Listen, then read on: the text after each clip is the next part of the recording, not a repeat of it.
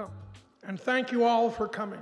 Before we start the discussion this evening, I'd like to acknowledge the land on which the CBC operates.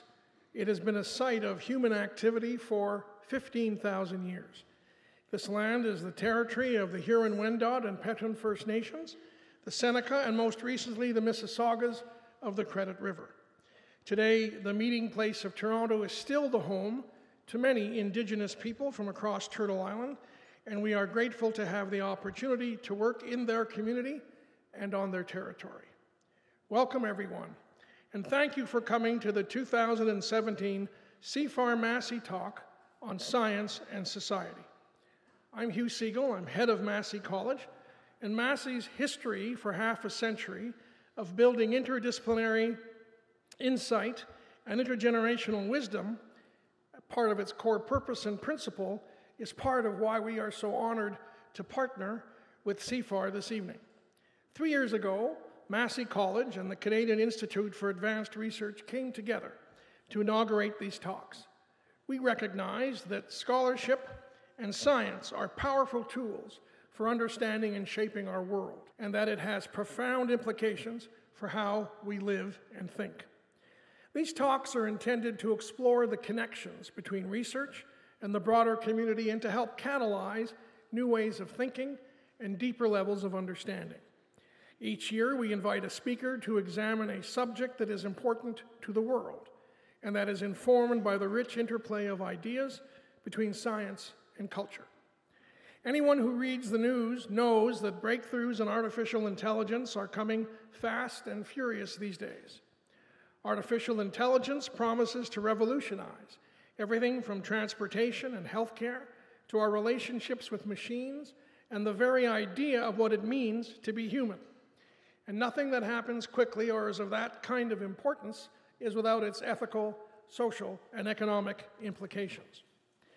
First, though, it is my distinct pleasure to introduce Dr. Alan Bernstein, a senior fellow at Massey, president and CEO of CIFAR, and this year's laureate for the Friesen Prize for Outstanding Medical Research. Ladies and gentlemen, Dr. Bernstein.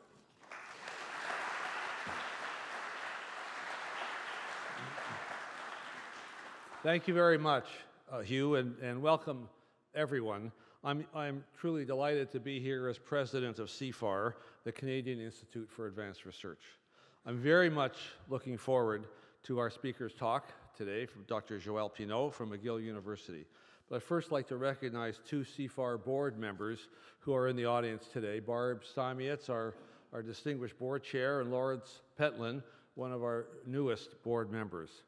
For those of you who are not familiar with CIFAR, we're a Canadian-based global research organization that's sponsored by visionary individuals, corporations, foundations, and the governments of Canada, Quebec, Ontario, Alberta, and British Columbia, as well as uh, partners in Canada, the US, France, Germany, and China.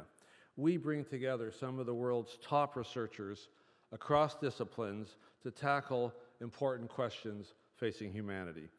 For example, one of CIFAR's programs, Bio-Inspired Solar Energy, is tackling the challenge of climate change by learning how to harness and store energy from the sun, taking advantage what Mother Nature has been doing for the last 400 million years, photosynthesis. Others are examining what, what goes into making a society successful. Some of you may have read about the, the collision of two neutron stars that was reported last week uh, that led to the release of gravitational waves. Our fellows in the program in Gravity in the Extreme Universe have played central roles in the recent detection of those gravitational waves from those black holes and neutron stars. One of CIFAR's great successes, and why we're here tonight, is artificial intelligence, or AI. In 2002, a University of Toronto researcher, Geoff Hinton, uh, Geoff, I don't know if you're in the audience here this evening, brought together a CIFAR program now called Learning in Machines and Brains. Geoff's idea was that we could learn from the original thinking machine, our brains. Geoff pioneered the AI technique now called deep learning, and he is considered universally as the godfather of AI.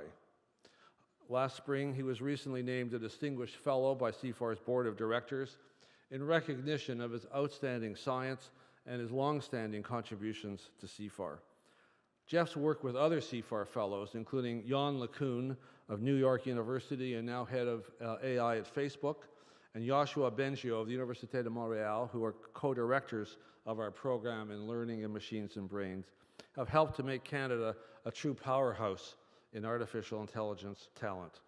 It's actually hard to pick up a newspaper or turn on the radio without hearing a story about AI these days. And for that, we have Geoff Hinton to blame. Our speaker tonight is another example of Canadian research excellence in artificial intelligence. Dr. Joelle Pineau is a CIFAR Senior Fellow and a leader in the field of artificial intelligence.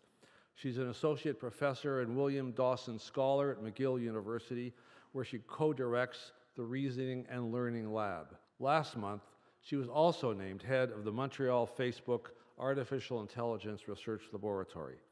Her research focuses on developing new models and algorithms for planning and learning in complex, partially observable domains.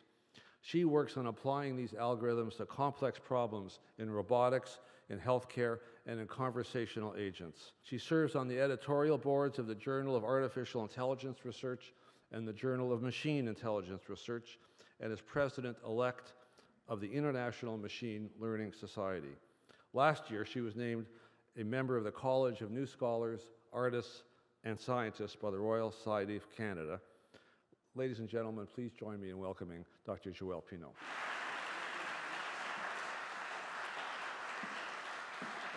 Um, it's a pleasure to be here. Uh, we've all heard about AI over the last year. It's been um, a very exciting year for people in the research community. Part of what I'm here to do today is to perhaps share some of that excitement with you more broadly and also to demystify some of the aspects of what we actually do in this area. We're not that far away from the day where cars are going to be driving themselves. Um, it seems like it's maybe going to be tomorrow. I, assure you, we have a few more years before we get there. Um, but it's not progress that happens overnight. This is really the result of several years of work in this area. When I was doing my PhD studies in the late 1990s, I moved to Pittsburgh to attend Carnegie Mellon University, and there already there were folks working on developing self-driving cars. We could actually go down to a basement building, Building D it was called in the days, and when you went there, you saw some great big vehicles. One of them was reputed to have driven from one coast, from the east coast to the west coast, autonomously. This was 1990s. When you asked a few more questions of the engineers, what you were told, well, you know, it drove from one coast to the other about 95% of the time. That seems pretty good, right? And then you ask which 95% of the time? Oh, the part where it was on the highway the part where I didn't have to switch lanes and it just followed the white line on the right, right? So we had some work to do. Between that time and now, there's been tremendous progress. A lot of that progress is in machine learning. A lot of that progress is in computer vision and our ability to understand the world. The progress is not just in autonomous driving, we're seeing it also in our interactions and our new ways of communicating, in our social interactions, um, it's not so unusual anymore these days to speak to a bot. Some of you may have had lovely conversations with Siri, with Echo, sometimes a little bit frustrating. Um, they tend to have very short memory, these devices. We don't know why, because there's a big hard drive in the machine. Um, still, the interaction is changing. One thing that's also changing is really our interaction with all of the digital world. In many ways, all of our interaction through this digital world are mediated by AI. What information we receive, the context in which it's presented, the order in which we receive the information is decided by AI algorithms. The information that we project that is shared with the world is also mediated by AI algorithms. And so that technology has already started to impact our lives. It's not always in visible forms through cars, through assistance, um, but it is there in many cases when looking at a time of big change, it's interesting to sometimes look for analogies in our past. And perhaps one relevant analogy in this case is the Great Industrial Revolution.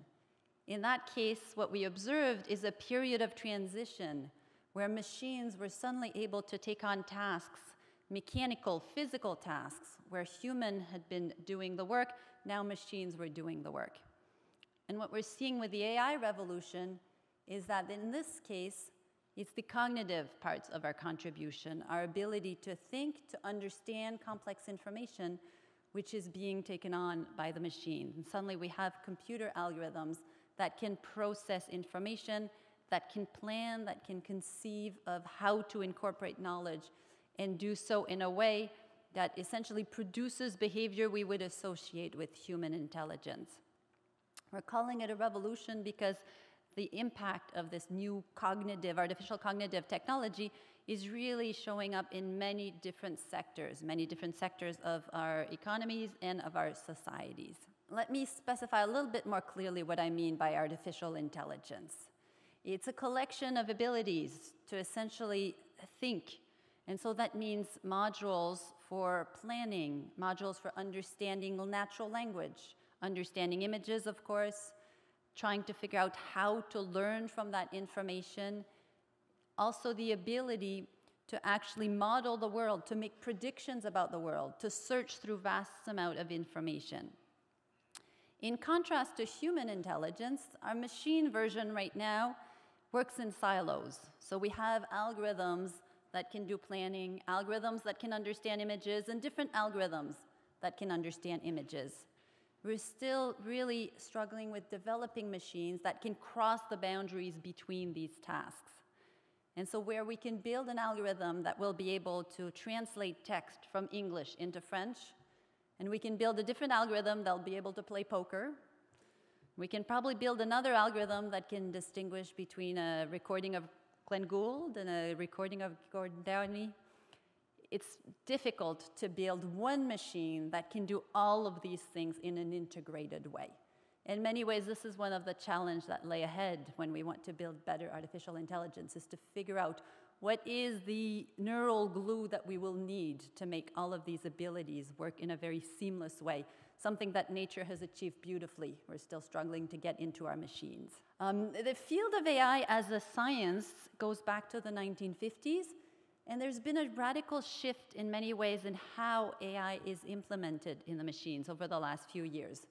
In the early 1950s, we had luminaries, um, individuals like Alan Turing, Claude Shannon, who were developing early versions of computers. And while they were building our very computers, they were already thinking of how to use these machines to behave in an intelligent way. Alan Turing was one of the first to imagine computers that could have a conversation, carry out a conversation with a human. Claude Shannon was busy building computer programs to play chess, this late 1950s, early 1960s. Um, the approach to AI and the approach that persisted all the way through the 80s and early 90s was really an approach that was based on a programmatic philosophy of AI. In that case, we would be writing bodies of instructions, precise instructions in a machine understandable language to tell the machine how to synthesize information and how to make good decisions. And what has changed in more recent years is really an approach that we, we could call a show and tell approach to training machines, essentially showing examples of how we make decisions and letting the machine draw its conclusions about how to perform certain tasks. So if we think of a task of analyzing, for example, images, brain images to do segmentation of tumors in these images, it's difficult to write out a very precise set of instructions for how to detect a tumor in an image. Uh, one would probably have to give different instructions for all different brains, for different patients, different images. Even humans are trained not in a programmatic way, but really with a show and tell by examples, by looking at many examples. And so the current AI paradigm, the one that is really kind of sweeping us off in this revolution, is one that is based on learning, on showing machine examples of how it's done and distilling that knowledge. A few breakthroughs that are really worth mentioning. Um, computer vision. We have really changed our ability to understand images. And one of the reasons we are now much closer to having cars that drive not only on highways but also in cities is because of these breakthroughs, our ability to understand pedestrians, vehicles, bicycles, traffic signs, traffic lights, and so on.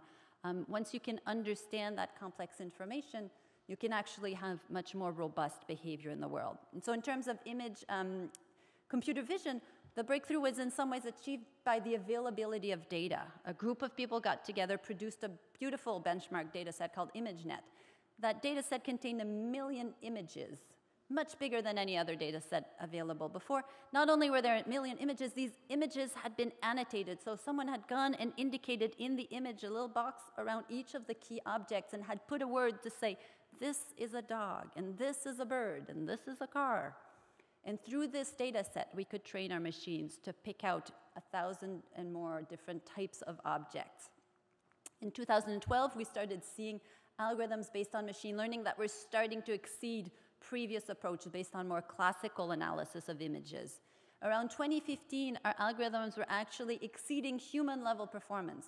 So the algorithm can predict more accurately what objects were in an image. A lot of that power came actually from the fact that the computer could distinguish between about 125 different categories of dogs and many dozens different categories of flowers, which most humans probably don't care to learn. Um, when we look under the hood of these machines, what is happening in terms of the technology, their algorithms, computer program telling us how to learn. In many ways, the algorithms that were behind these breakthroughs had many elements that had been known for 15, 20 years. What really changed our ability to solve the problem was the availability of the very large data set and the availability of computing platforms, GPU platforms, to compute the uh, algorithms.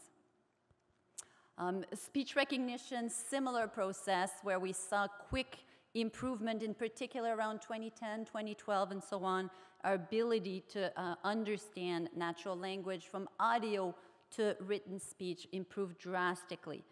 These are two different domains, understanding images, understanding speech, and yet in some ways, this deep learning technology is the engine that drives these progresses. It's been applied to many other types of data also, and here in Canada, we've been really lucky to be at the forefront of this revolution. We've been sitting in the front seat watching it happen um, because we've had some of the leading researchers. Alan mentioned them in his introduction Geoff Hinton, Yann LeCun, Yoshua Bengio, and of course, the great uh, population of grad students that they've trained over the years. All of them have been training um, many, many grad students who have now moved on to join university and industry labs around the world carrying out this work. Let's look a little bit deeper under the hood and try to understand what's going on in this case. Um, one analogy that um, is quite interesting to look at is the parallel between biological neurons and what we're calling artificial neurons, because this deep learning is really a way to adapt some of these intuition. So in a biological neuron, you can think of a biological neurons, and my biology friends in the, the room are Forgive me if I do this in a very crude way. Essentially, you can think of it as a unit of computation. It's a unit in the brain which receives information. There's some dendrites at one end of the um, neuron that receive messages from other neurons, there's some operation that gets computed inside the neuron, the neurochemical level, and then the neuron decides whether to send out a message or not. And if it decides to send out a message, there's essentially an electrical message passed along the axon that gets sent around to many other neurons. And so this notion that information gets in, something gets decided, and in some cases information goes out is very similar to what's going on in our artificial neurons. In that case, the neuron is actually a line of code or a unit in memory in the computer that receives information from other pieces of the memory in the computer or information from sensors in the case of a robot. Information is computed at the level of the neuron and gets passed on to other neurons. And things get really interesting when we combine many of these neurons together. We're not very good at building very complex, intricate ways to combine this. We usually layer out our neurons in um, a set of different layers.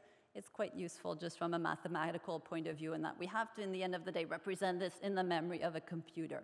So we have vectors and arrays, and information gets plugged into there. The connections between the neurons essentially are the process through which we acquire learning. And so by strengthening connections between certain neurons, we can actually strengthen certain predictions. So when we talk about training a machine learning algorithm, what we really mean is figuring out what is the right set of weights on these connections, how strong or how weak to make these connections, in a way that once the message gets passed through all of the layers of neurons, we have a prediction at the end that matches what the label should be. So if you think of trying to um, do image classification in this case, I would take an image. On the input side, each of the pixels in the image would be associated with a separate neurons. And through each of the layer of the neural network, we're computing more and more abstract version of the information from lines and color patches to patterns to the end predicting whether it's a dog or a cat that's in the neural network. Things get particularly interesting when you start to stack many, many layers of these neurons together, dozens of layers of these neurons. This is one of the network, the GoogLeNet, that was doing very well a few years ago in terms of the ImageNet challenge. It has on the order of 600,000 neurons. There's about 6 million parameters to train over here. So you can imagine the amount of data you need to see to get good weight configurations on these 6 million parameters. The progress we're doing is not limited to just images or just speech. Um, there's really interesting work being done at the intersection of vision and language. This is a case that um, deals with the problem of image captioning. So in this case, the neural network receives an image. We present an image, and the goal of the machine is to produce not just one word, right? Not just pizza, but a whole sentence, right? Two pizzas sitting on top of a stovetop oven, right? Generating that sentence, all of the words, in a way that is consistent with what's shown in the image, but also consistent with the rules of grammar. In this case, in the English language, though we can do that in several other languages also. Um, the second image, the label that was generated, a group of young people playing a game of frisbee. Quite remarkable, something that a few years ago we really couldn't think of doing. The machines are not perfect, right? We have a great set of bloopers. On the left here, obviously, a refrigerator filled with lots of food and drinks, right? That your fridge looks like? I don't think so. On the other side, a yellow school bus parked in a parking lot. Uh, not quite. It's quite likely that in our data set, most of the images that featured transportation and something big in yellow were a yellow school bus. Probably not a lot of images of cars like that in our training data set. And so you start to see that in many cases our algorithms are making mistakes when they haven't been exposed to the right kind of data. One technique that we have been looking at to improve in cases where our machines are not doing as well as we want is by letting the machine on its own improve its ability. And so there's a branch of machine learning called reinforcement learning that pursues the development of algorithms for that case. In the case of reinforcement learning, the strategy is a little bit different, right? Deep learning typically is a supervised learning approach. I will show you an image, I will tell you there's a dog in that image. In reinforcement learning, the machine gets to apply a little bit more trial and error. It's not that different from how animals, uh, pets learn or how children may learn, right? They try different behaviors, and sometimes these behaviors result in a good reward. The animal may find food. The children may receive positive reinforcement from their parents. The agent learns through trial and error to exhibit behaviors that are consistent with getting a lot of reward.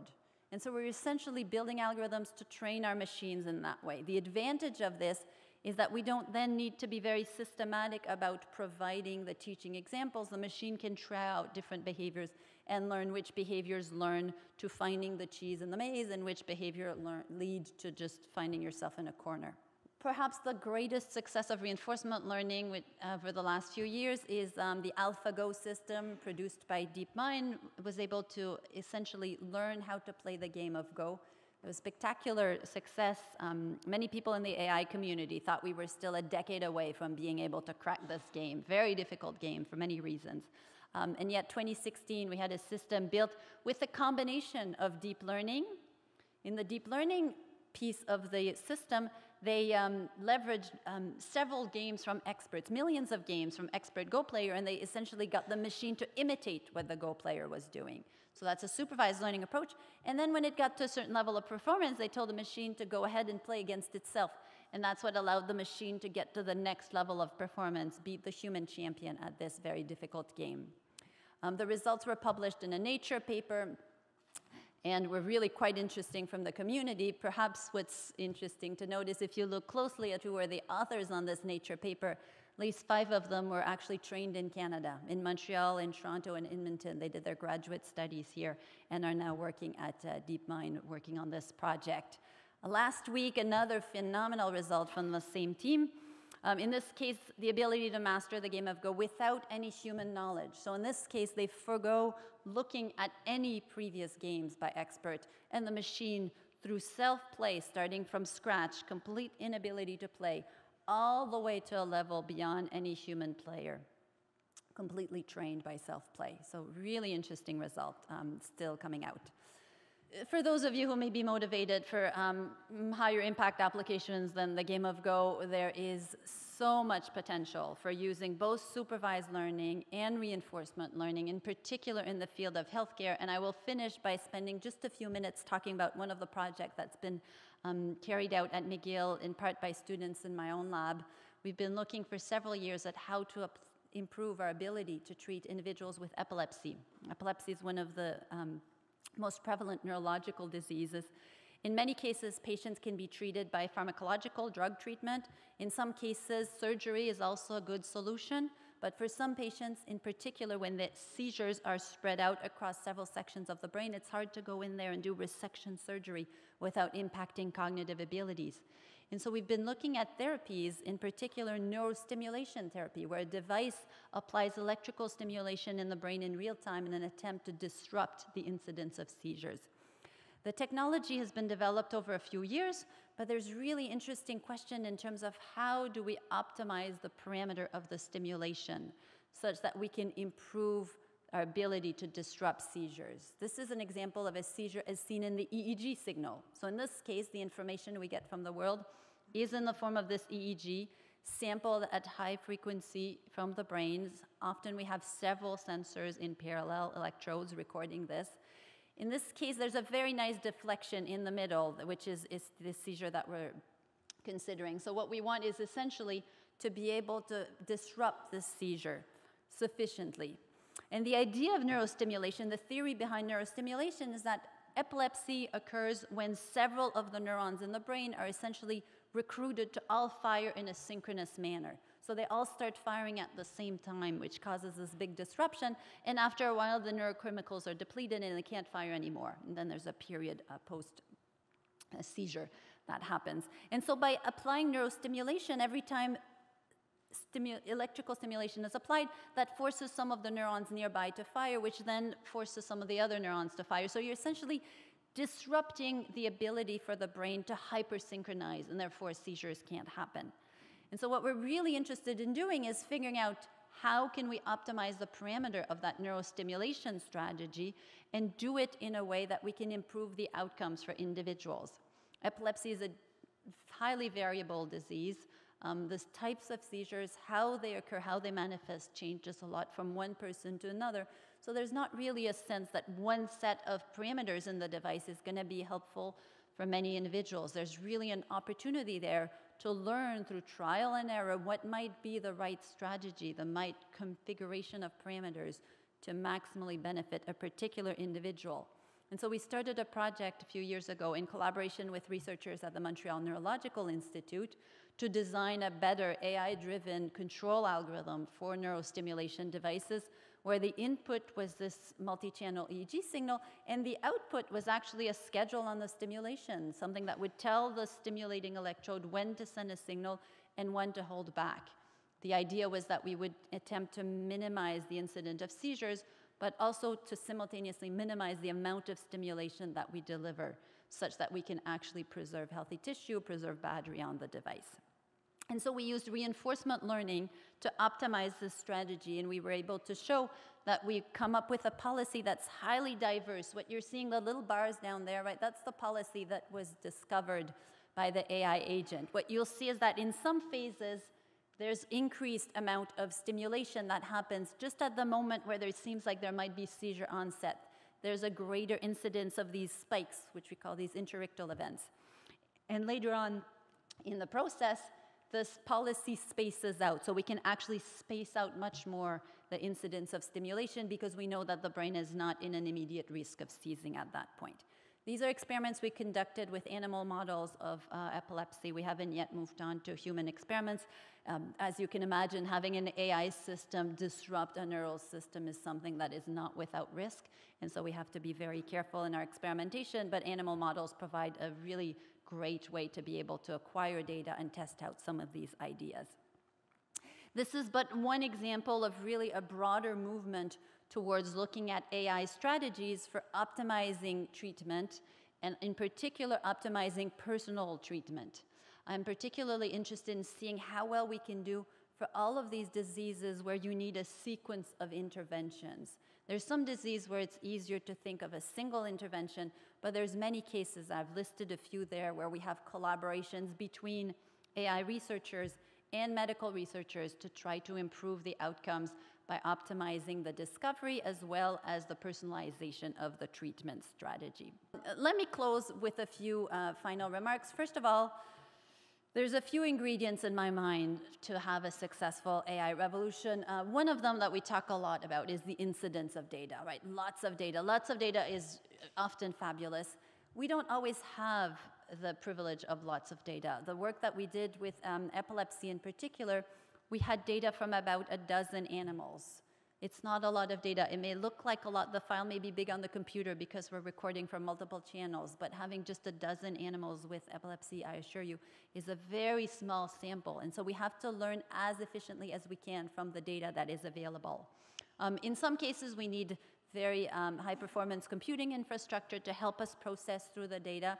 When we're looking at robotics, autonomous driving, we have data coming in from multiple cameras. We have data coming from these three-dimensional point clouds. Generates a ton of data. So we have to be able to process through that quickly in real time. Of course, we need a team of talented computer scientists, data scientists, machine learning experts. Um, one of the big challenges for your, our universities in the next few years is to train and produce the talent at the speed that um, everyone is um, hoping we will and to be able to help our industry, our public institutions, have people have, who have these kinds of qualification, help them in this transition time. Um, in many cases, we also need to have good domain-specific knowledge. So when I look at applying machine learning techniques to improve the treatment of healthcare, I can't go in there on my own with my machine learning toolkit and hope to crack a problem um, such as how do we improve the treatment for epilepsy. There has to be a close collaboration with people who understand the disease, the dynamics, people who work with the patients, people who know how the healthcare system works, and we can think of how we will deploy the strategies in a way that's effective in the ecosystem. And finally, of course, we need to have more efficient learning algorithms, architectures. A lot of the research we uh, do in our labs is really on this fifth point below. Um, but all of the ingredients have to be aligned, I think, for us to be able to make progress.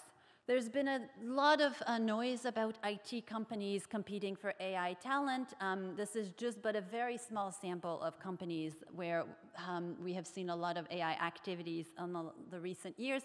In, many cases, right, they're opening uh, the field but as we progress, really what we need is to figure out how we can have AI talent, but also um, AI readiness across many, many different sectors of our economy and our societies. Um, and so this is one of the challenges that I think is ahead for us um, in Canada. Fortunately, I think one of the reasons we have um, been um, able to um, lead the way in this is really because we have a pan-Canadian strategy on this. There's talent from coast to coast. The bigger centers are in Toronto, Montreal, Edmonton, but there's several excellent um, researchers and training programs in many other cities, in Vancouver, in Waterloo, in Quebec City, and across the board. Um, and so that next generation of students is soon going to be um, coming out of our universities, and we hope are going to help us in the future doing this. And let me close with uh, just saying that uh, I look forward to the discussion with the Massey Fellows. Thank you.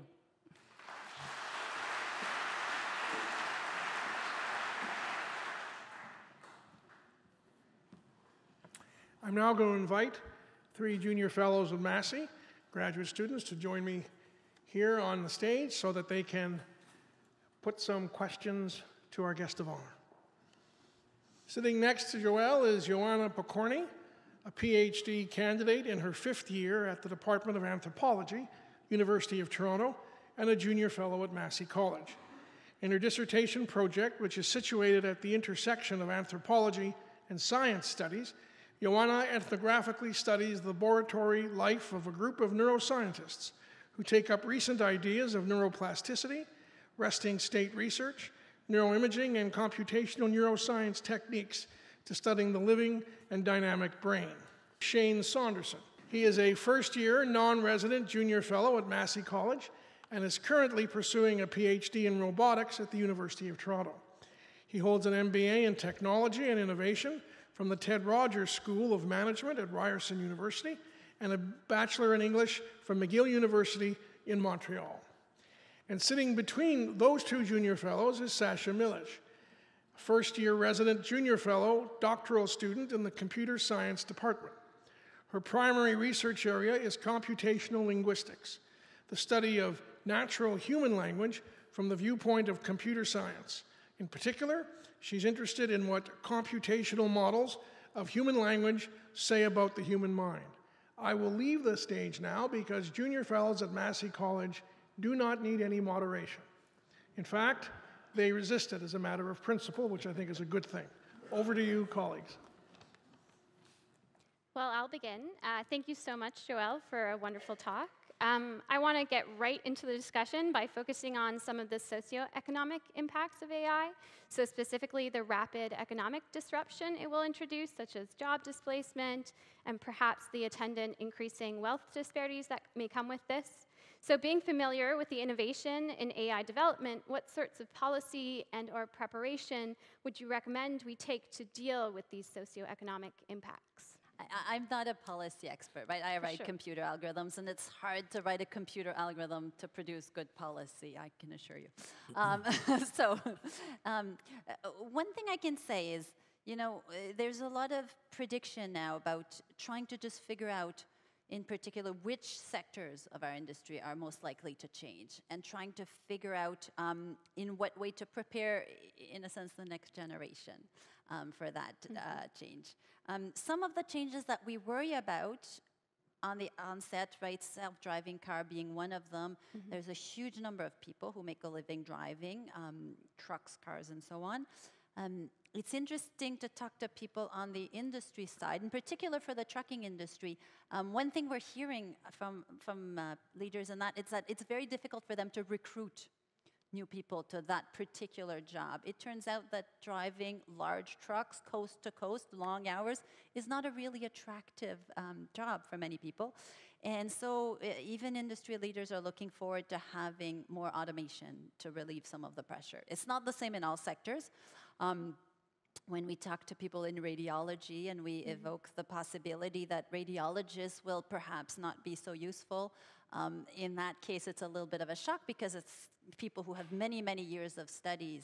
Um, and so it's a little bit difficult to, um, to help them prepare or to, for them to accept that, that reality.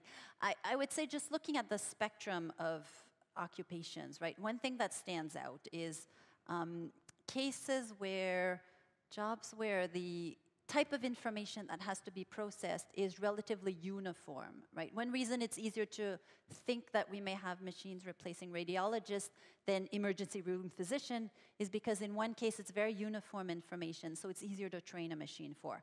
Whenever someone has to process very complex information and also perform a really wide variety of actions, it's a lot harder to think of machines taking on these roles. But that's a little bit far away from policy, I, I realize. Um, but at least rule of thumb of seeing where we're going to see the most disruption. Going back to the, the, the, the, maybe a little bit closer to your question, right? This, how do we prepare for this? in a way, I think um, human society is incredibly adaptable. I had a colleague who gave a presentation on this recently and quoted the following statistics. He said at the beginning of the 20th century, there was about 40% of, um, of Americans who were engaged in agriculture. And at the end of the century, it was about 4% of Americans who were working in agriculture, and yet unemployment rate was lower. And also during that century, we saw the massive um, movement of women into the workforce. And so I think the, the jobs that will be available for our children are going to be completely different than the jobs that were available when I went to university, and perhaps when you went to university. Um, but, but I think um, that there will be very interesting problems to solve and things to do. Do you have any recommendations to us as young scholars? I know you mentioned you prepare your daughter a little bit. so, are, do you have any recommendations for young people as to how they should prepare? I try not to intervene too much in her long-term plan and give her space, you know. Um, but yes, I think uh, you know acquiring a really large diversity of skills mm -hmm. is always useful, right? Something to to think about. Um, mathematics and science mm -hmm. are definitely going to be very useful um, in many ways. Mm -hmm. I think, in particular, we have a big challenge um, in terms of how to incorporate um, more computing into our curriculum mm -hmm. at the lower level. I know a lot of the people looking at the curriculum for the K to 12 are really looking at how can we introduce children to computing, programming earlier, and how to do it in an age-appropriate way.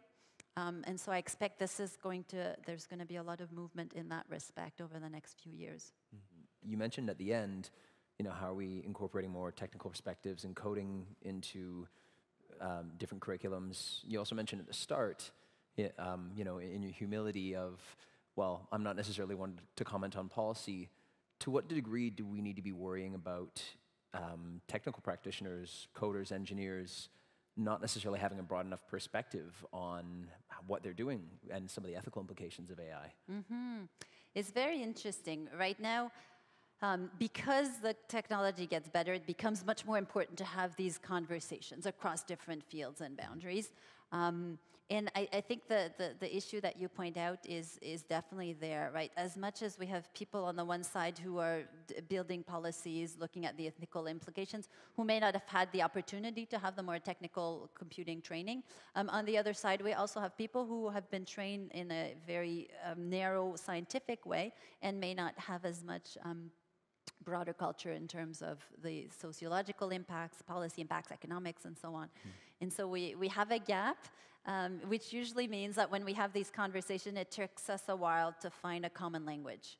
Um, I'm really hopeful that the next generation will not have as much of a gap, that we will have an ability to, you know, go back to Renaissance type of training where people were really exposed to a much broader spectrum of ideas. Make more polymaths. Mm -hmm. thank you for such an insightful answer. Um, I have a question that kind of goes in a different direction.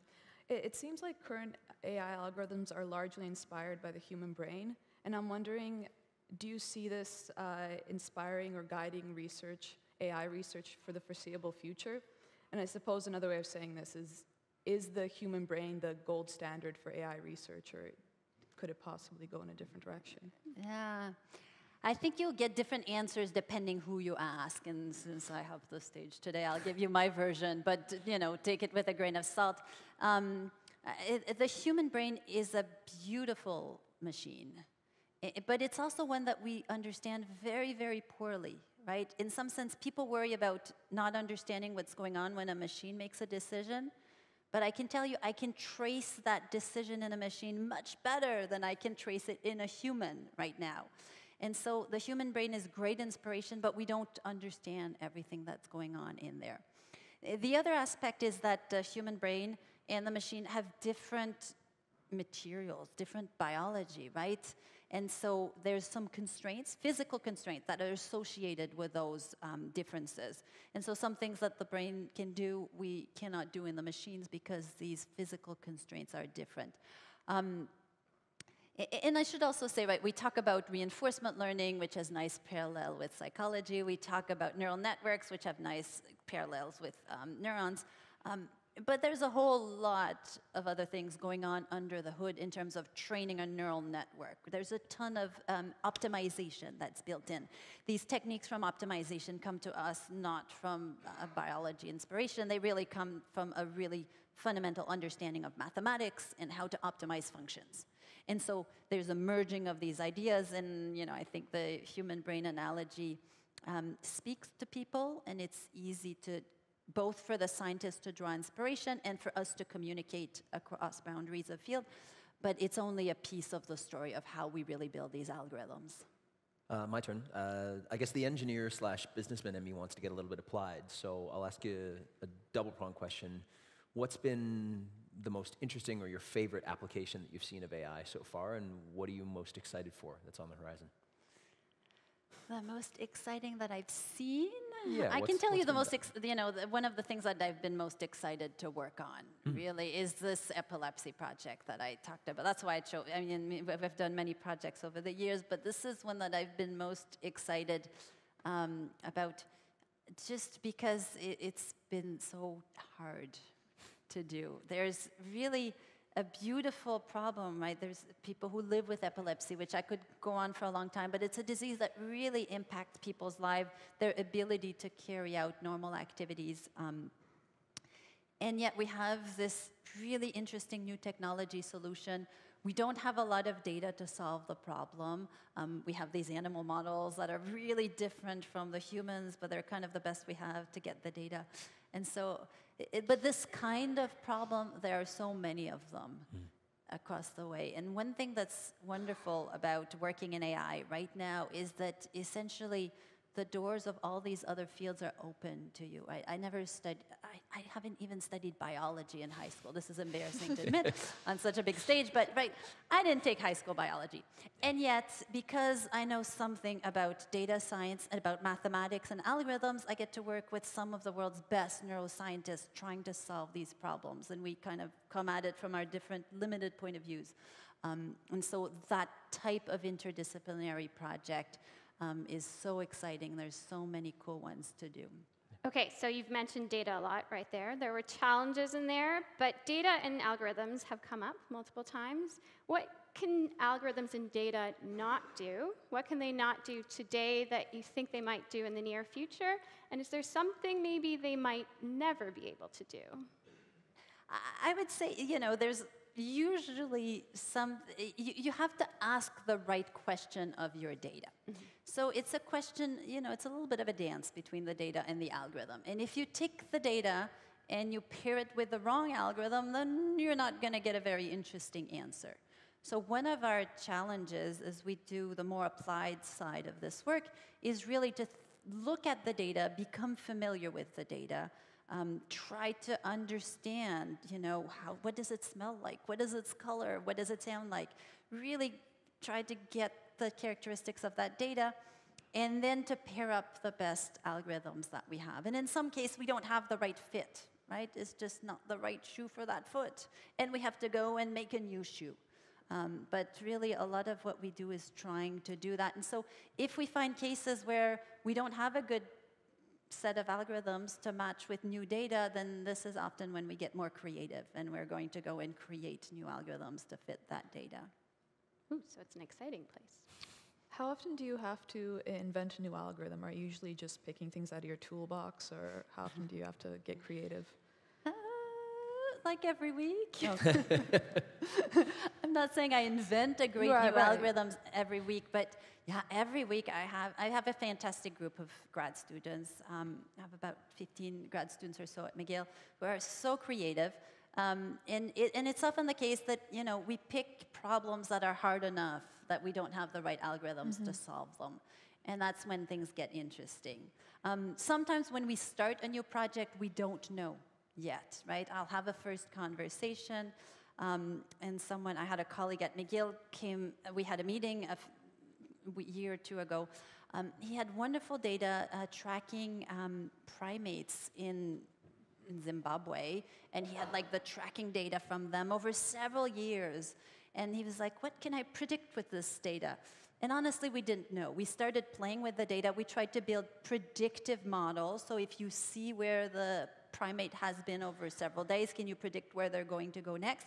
And it turns out the best algorithms we had were not doing a very good job. And so then we build a new set of algorithms for doing that, that are new model for time series prediction. We applied it for these particular primates, but now the algorithm's out, we published it, and then people can use it for whatever other types of data that they might have. So I would say every week we work on trying to create new algorithms. Some of them don't pan out. Many of them don't pan out. Um, once in a while we hit on a good idea. Uh, Joelle, what do you think is the largest misconception the general public has about AI? Hmm. Or the current state of AI? it, one of the misconceptions, I think, is the fact that AI is this black box that's making mm-hmm. decisions, mm -hmm. right? Information goes in, black box does something to the information, and out pops a decision. And this notion that we can never understand what's going on in the black box, right? And, and this goes back, I think, to a comment I made earlier. I think in many ways we know what's going on in the black box, right? I have a neural network, it may have 600,000 neurons if I present the same image, I can trace very precisely where I'd predicted that this was actually an image of a fish. I can trace it. The difficulty is it's not a simple story. And so once I've traced it all, I can't necessarily go and explain to you in 20 words or less why it decided that it was a fish. Humans are much better at doing that. Humans mm are much better at saying, well, here was the context, and I made this decision, and here's why I made this decision, right? Humans are good at coming up with that short answer. Now, what's interesting is that in many cases, it's not clear that the human answer, the reason humans are giving, is actually the reason they made that mm-hmm. decision. Mm. And so we can't go back in their brain and trace why, what was the sequence of neurons that fired very precisely to go from seeing that information, right? You're driving along, you see something, and you decide to veer to the right or hit the brakes. The human may bring a narration to explain it, but we don't have a clue what's going on. And so people have this notion that, oh, humans are so understandable and explainable, and machines are these black boxes where we know nothing about what happens. I think it's the other way around. It's just that humans are really good at building a narration, and machines are not so good at building a narration yet. So what happens when we make the machines that can build the narration as well? Is that a good thing or a bad well, thing? Well, I think that's a good thing. If anything, it's a good thing because it establishes a, a richer dialogue mm-hmm. between mm -hmm. the machine and the human. And the, the reason we need this richer dialogue is because as we move forward, right, we talked about some of the fact that machines are going to become more prevalent in the workforce. As we move along, humans and machines are going to work together. Mm. It's not going to be a case of suddenly, right, all the machines move into the workforce, we close the doors and the humans go off and we play golf for the next several years. Right? For a long time, there's going to be a partnership. The machines are going to make predictions. The humans are going to look at it, they'll take some of that, and then they'll change some of the other ones. And so we need to have a language for explaining each other's decision. Humans need to have a language for expressing what they think to the machines. We have coding for that machine needs a language to express to humans mm-hmm. what they're doing and why. Okay. Um, on the topic of coding and data, I want to talk a little bit about um, a bias in data. So one of the things that's often raised with you know, training algorithms through um, providing it with mass amounts of data is that mm-hmm. the data is inherently human, which means it could be inherently biased or flawed. Um, and a lot of people even call out you know, potential you know, isms, racism, sexism, those kinds of biases that could work their way into data. But I actually want to talk more just about capability. Um, what are the risks of introducing the bias of simply the fact that our data is human in nature, and that means that we can only ever get something that we produce that is human and never better? Right. There's no doubt that um, human bring in knowledge, right? And human bring in um, bias by selecting the data in some cases. Depending on what's the data set that you've selected, your machine is going to train from that data.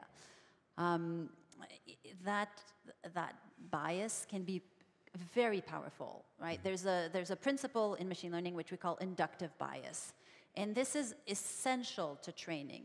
And that is essentially, if I can try to simplify, inductive bias is essentially the knowledge that we put in to constrain the problem, to make it feasible to learn something. So, for example, when we do image classification, it's deciding what are the set of classes, the types of object, right? Are we going to look at five objects or five million objects? Deciding what's the set of objects that matter, that we want to be able to predict, right? This inductive bias is very powerful because it allows us to narrow in on learning the things that we think are important. The other side of this is bias, plain and simple, which is it's limiting the ability for the machine to learn anything. And so th- there's the good side and there's the bad side of this. And we have to be very conscious when we design our system. We have be, to be conscious to pick a good inductive bias and also to check our biases in terms of um, what data we use. There's a line of research, people are looking very actively at um, building models where we can actually uh, detect or even revert bias in our predictions. So try to make decisions that don't exhibit certain preferences for different types. Um, and, and we're achieving some measure of success for doing that. I would say the caveat is that we have to be um, aware of our biases to do that. So to be able to um, balance away from a particular bias, we have to uh, be on the watch for it and uh, be able to sort of name it to compensate for it. And so one of the ways we do it is by overrepresenting um, underrepresented types of data. And so rather than take the whole data as it is uniformly, we're going to say, well, we want to be better at this type of behavior, so we're going to increase the weight of that data, reduce the weight of that data. Mm-hmm. Um, and so there's sort of algorithmic things we can do, but then they require us to put a little bit of knowledge. The completely unconscious bias is very hard to um, prevent. Okay.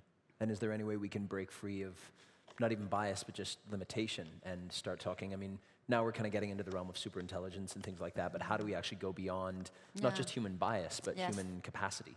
Yeah, that, so that was the other part of your question. Um, in many ways, this is what reinforcement learning brings to the table, right? Supervised learning says, um, I'll show you an example, and a human will put a label on it, and then the machine will learn these pairings. In reinforcement learning, we have the ability for the machine to learn from itself, to explore um, different strategies, and then to see these rewards. There's still the notion of a reward. So when they built the system to play Go, it didn't have any games from experts, but someone still wrote down in that computer program the fact that winning the game was good and losing the game was bad. Yeah, and and if we had written it the other way around, we would have gotten a beautiful go losing machine. um, and so that piece still has to be written in, but in reinforcement learning, it's a, you write a lot less. It doesn't mean that it's not hard. And one of the problems we're facing specifically with reinforcement learning, it's a problem sometimes we call the value alignment problem it's easy when you're building an agent to play chess or to play Go to just say winning is good, losing is bad. It's a lot harder when you build a robot to drive in the street to figure out what is the right reward function to specify for our agent. And that's when we get into very difficult, um, more ethical issues of figuring out how to trade off different choices and how to write out the reward function, the cost function for these different choices. Yeah. Okay. So following up on some of these um, challenges, there's a lot of um, sort of dystopic visions of technological advancement. There's a lot of fear and anxiety, especially in the press, around mm-hmm. AI development. Perhaps from a more agnostic perspective, technological development is neither always perilous nor promissory. Uh, mm-hmm. So, from your point of view as an expert in AI, what are the sorts of things that sort of make you perilous about this? uh, what are challenges, complications, things that you see as problems ahead? No. There's a, there's a lot of challenges ahead. Um, we've touched on a few. Mm-hmm. Um, one of the challenge we perhaps um, didn't touch on is um, issues of uh, privacy and security with respect mm. to the data. There's a lot of data that is being collected um, from people's behaviors. Um, that data is stored, shared in multiple different ways. Thinking of how do we preserve the integrity of the data, especially when we get into medical data, is mm. very important to do. And so we have to figure out the right way to do that. There's something really subtle that creeps in when you're doing machine learning, which is, I mean, everyone agrees that, you know, the raw data should be preserved and we should be careful about who has access to it.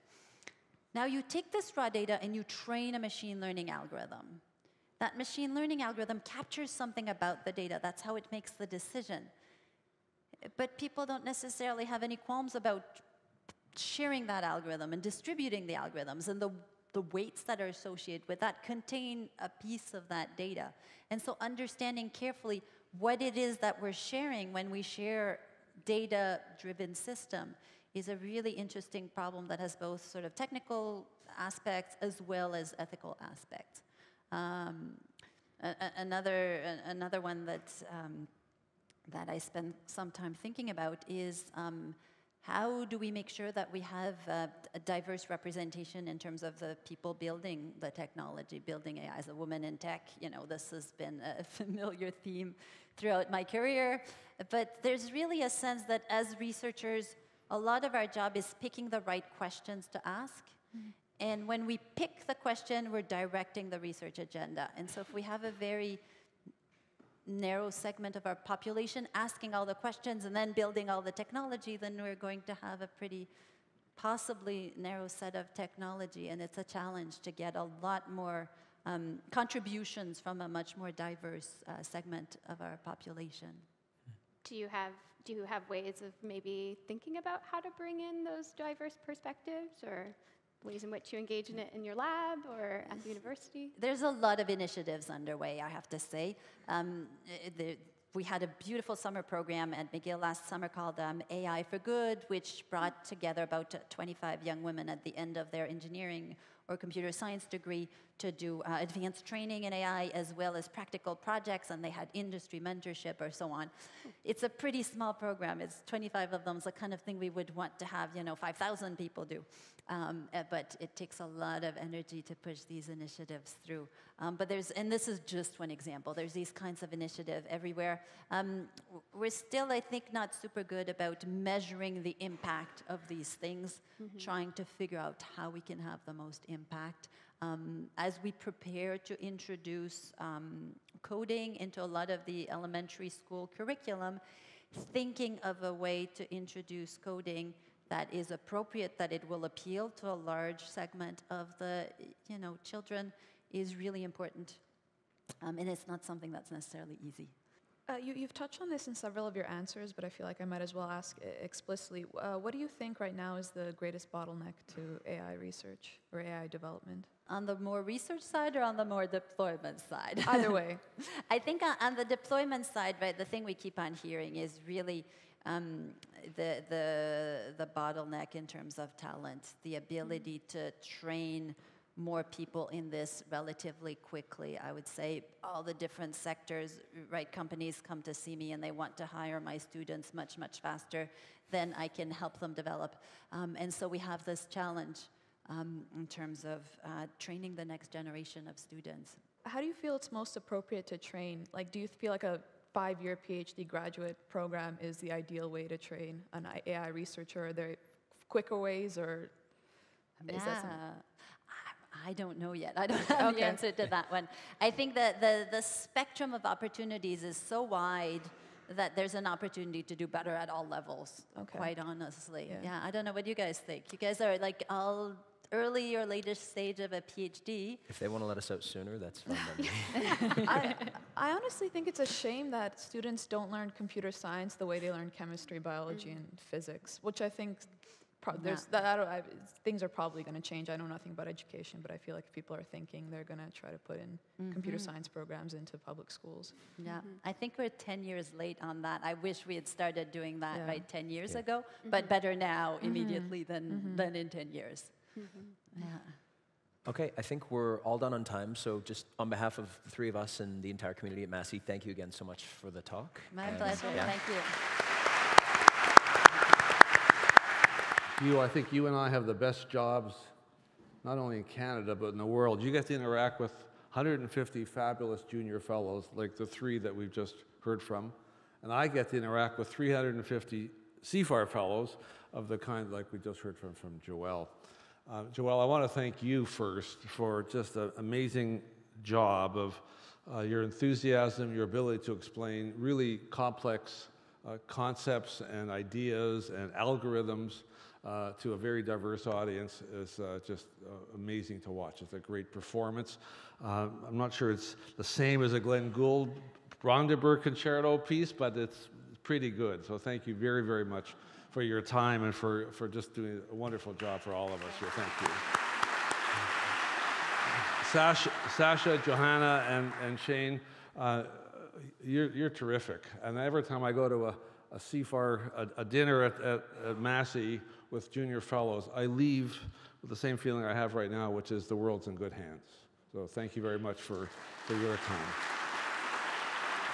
Hugh, when, when you and I had this conversation three plus years ago of having a partnership to uh, bring uh, CIFAR fellows of the caliber uh, of uh, Joelle Pineau to talk about issues of the day that matter at the nexus between science and society, I don't think we, I certainly didn't appreciate how important and how relevant this would be. And I think this was a, it was a great partnership, and I look forward to continuing this partnership between CIFAR and Massey. So thank you very much.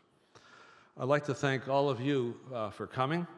I hope you found the uh, evening as stimulating uh, and as informative as I, ha as I have. Um, you can continue the conversation. There'll be a reception outside afterwards with either of these, any of these four uh, individuals, and, and you, our staff will be out there if you want to ask them more questions about CIFAR. Uh, again, I'd like to thank uh, Hugh for partnering with us on this great event. Um, our, we have a, an event coming up at, on November the 14th. Uh, at, it's our annual dinner, CIFAR's annual dinner at the Omni King Edward Hotel. It is going to feature a fabulous talk by another CIFAR fellow, uh, Michèle Lamont from Harvard University. Uh, she's co-director of CIFAR's program in Successful Societies. Uh, Michèle is a Canadian, uh, she's the president of the American Sociological Association, and she's this year's recipient of the Erasmus Prize, uh, which will be given uh, by the King of the Netherlands uh, later this fall. And Michèle will be talking about addressing the recognition gap, how to make societies more inclusive. Thank you all again for, uh, for your talk, for your time, and uh, to the audience for coming this evening. And please join all of us out in the reception after this. Thank you very much.